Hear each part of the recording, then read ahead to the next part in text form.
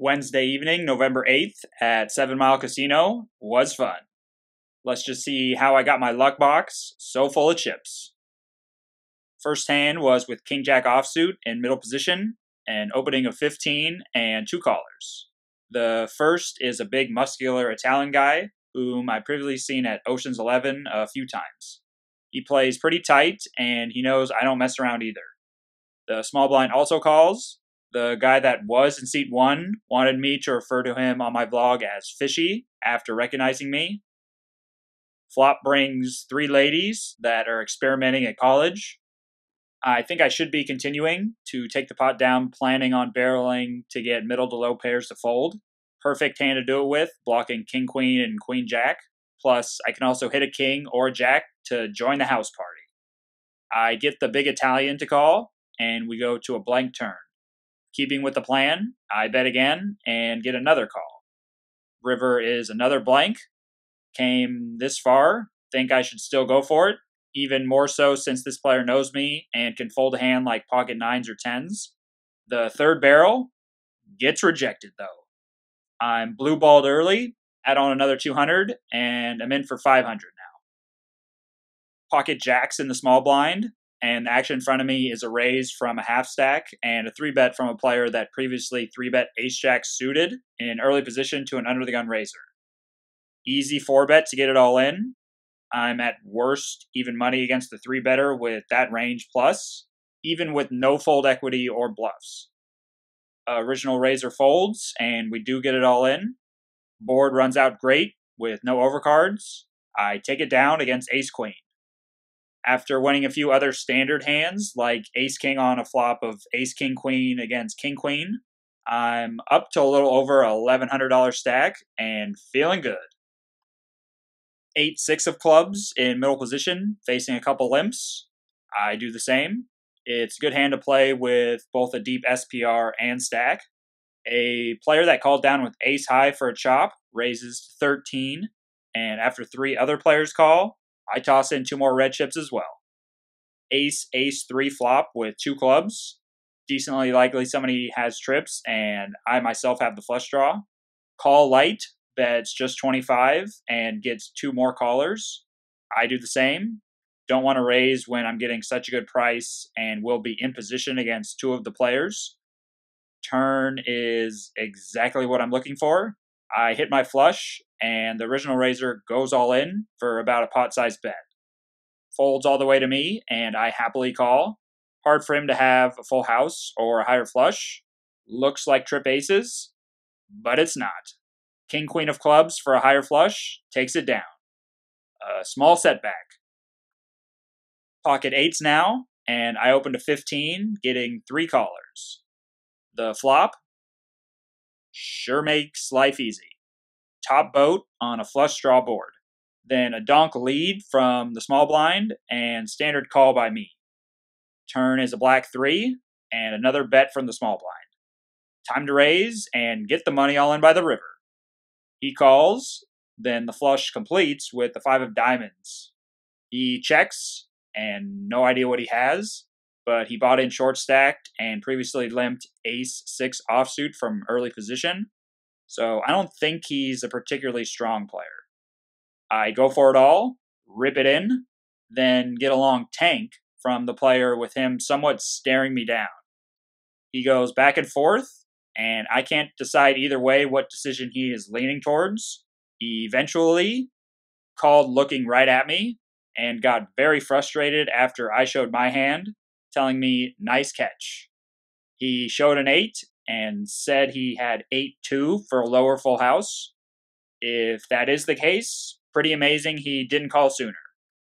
At an $1,800 stack now, and loving life at this table. Ace King on the button, and raise two limpers to 20. Both blinds call, five ways to a flop with already $100 in the middle. Nothing much, and I check back. Turn is another seven, and I face a small bet of 40 from an older gentleman with glasses. Doesn't seem strong, and with the previous three players checking, I don't think any of them will have a queen. I call in position, could be good now, or can still improve with an ace or king. River brings a third diamond and a really small bet now of 50. Looks really weak, and I could be good. I just think he's playing pretty face up and will fold a hand like an 8 or maybe even a queen to a raise. I also have the king of diamonds and block some flushes. I go for the raise, making it 100 more. He folds before I even put the money in the pot. This hand was just to show you that I didn't just pick up monsters and only win giant pots when I had it, with those type of hands being the remainder of the video. You thought I was running good up to this point? Just wait. There is a button straddle on in this hand and an under the gun opening of just double that of 12 from the mean muggin white male. I call with pocket sixes and we go five ways to a flop. Sets are good, this time on a very wet coordinated board. The original raiser continues. This is not at all the time to slow play. Plenty of draws, and I don't have the board locked up like with the eight's full hand. He calls after all the other players fold, going heads up to a jack of diamonds on the turn, completing the flush. Then I hear a powerful all in and a mean mugging stare directed right at me. He also looked at his cards before he did it, so a lot of tells going on. I'm getting about 2 to 1 odds, having it be around a pot size bet. If he does have a flush or flop to straight, I would be about 3 to 1 to hit. Incredibly sure he has numerous other hands. I call. He is defeated and says, Really? Did you flop it? Only one pair. I really like the sound of that. The river pairs the board with an 8 and another full house for me. He flips over ace 8 with the ace of diamonds thinking trips might be good. Not tonight. Another big pot heading into my luck box. Plus, a new high action player sits down that I have played with once before. Pocket queens, and I raise a few limpers to 25, getting the pre mentioned action player to call, as well as a short stack that actually went all in for 39. Can only call, going heads up for the side pot. Board is 5 3 deuce rainbow, and I get a donk lead of 45. Let's get it in. He calls with the board running out pretty clean. I was up against 6 5, pair plus gut shot, the all in player mucks, and I take it all. At a 2.5K stack and change, up a little over $2,000 now. With the run good, still full steam ahead. Pocket queens, and I three bet an isolation raise from the same player, we are going heads up in position. Do you ever have deja vu, Mrs. Lancaster? I don't think so, but I could check with the kitchen. Nothing much to think about with only $57 left in a pot of 150. But why not? Just give me top set and the nuts. He shoves, I call. The crazy Mexican shows pocket nines for second set. Even though we didn't have much left to play with going to the flop, pretty sick. A couple limps, and I limp behind with King Four of Hearts. Similar situation as with 8 6 earlier. A race to 17 from a player that has been rather quiet. After a string of calls, I do the same. Not a great spot, but why not? Surely you can't be serious. I am serious. And don't call me Shirley. I would have taken just flopping a flush, the nut with the ace is just comedic overkill. The raiser bets, and after everyone folds to me, time to get it in with not much left. He calls and has pocket queens with a heart, almost drawing dead. The entire table, and even more so that specific player, are all just bewildered at this point about my fortune, about how I win just about every single big pot at the table. Hard to even believe it myself in the big blind with ace king of hearts this time, a little better than the old king four, a raise of 13 from early position, and two calls. Easy squeeze spot with all the players being deep stacked. I size it up big to $100. The original raiser quickly calls, and everyone else folds. This is already turning into the most interesting hand of the night by playing over 400 big blinds effective. The flop is fantastic. Ace 3 2 Rainbow. The way the preflop action went, I think I almost always have the nuts here. When players limp so often and raise sparingly, you can eliminate many hands from their range. I suspect this player would limp pocket twos and threes, as well as ace two suited or ace three suited. Then, even if he did raise them, he would most likely fold preflop anyway. I'm mostly putting him on medium or borderline premium pocket pairs, suited broadways, and big aces. Zero hands in that range, I'm behind.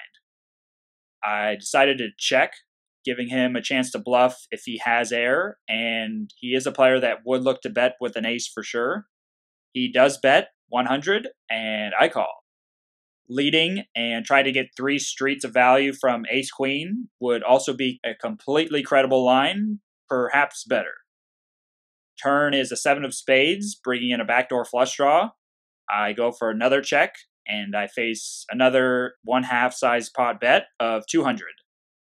Normally, one would never want to get all in over 400 big blinds with top pair, top kicker. I just really believe I am never behind the way the action went down. So, raise, call and check river, or call and lead river. I immediately like the third option, call here and then lead the river, thinking ace queen might check back, but will make a crying call in the river with no more action. That specific hand might fold to a raise here, thinking it's all going in on the river. I like that better than call and check the river, since I don't see many hands triple barrel bluffing and rule out that option. I went for door number three, though, with a raise.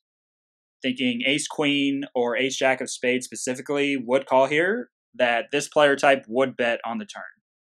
Not sure about it, I'm really screaming pocket aces, and it's not usually good to be representing a better value hand than you actually have.